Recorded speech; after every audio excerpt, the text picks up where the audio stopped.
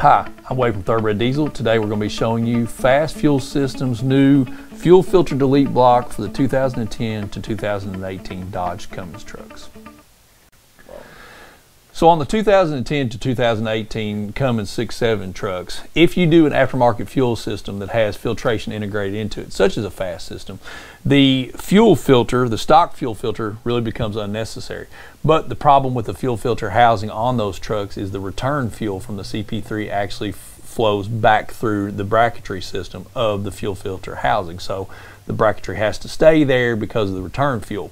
But you have an aftermarket fuel system, so you want to clean up your engine bay. So interface with their fuel filter delete block. Now, this fuel filter delete block obviously is going to keep the return fuel integration. You can see that here at the end of the fuel filter delete block. Those lines are going to be at their stock uh, location.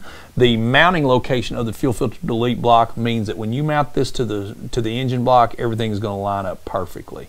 Um, this is machined aluminum. It's got the FASS logo on it, so it's really really nice in that regard. The kit is going to come with the banjo washers that you will need to replace when you take those return lines from your stock CP3 off uh, or to when you replace those return lines from the stock CP3.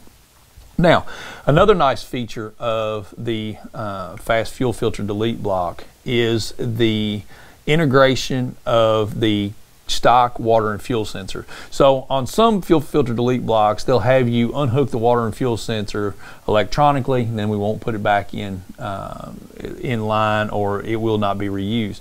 The problem with that uh, with that process is it can trip water and fuel lights unnecessarily. So FASS has FASS realized that, and they actually ported the bottom of the fuel filter delete for the water and fuel sensor, and that's the coarse thread uh, on this side. So your water and fuel sensor will be will will will screw right into this. Comes with a new uh, it comes with a new washer for that as well. Uh, I'm sorry, it doesn't require a washer. The water and fuel sensor will screw right into the bottom, and you can hook it back up. You don't have to worry about getting false water and fuel uh, lights. But there is another port, and you're probably wondering what's the other port for, Wade. So you guys that have got dual CP3s on your truck, this is going to keep that clean as well because that is going to give you a place to route your secondary CP3 return back through. But now, you guys that don't have a secondary CP3, don't worry. That comes with a machined uh, negative six plug, uh, O-ring boss on it or O-ring style plug that will go right in the block. You put that in there such as so. If you don't have a secondary CP3, blocks that off, you're good to go. So there's two different thread pitches on the bottom ports of this. One is the thread pitch for the water and fuel sensor. The other is the thread pitch for the uh, negative six port for the secondary return.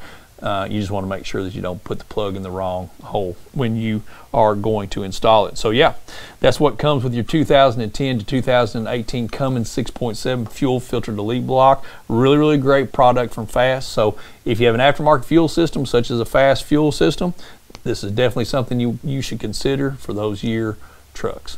Thank you for watching.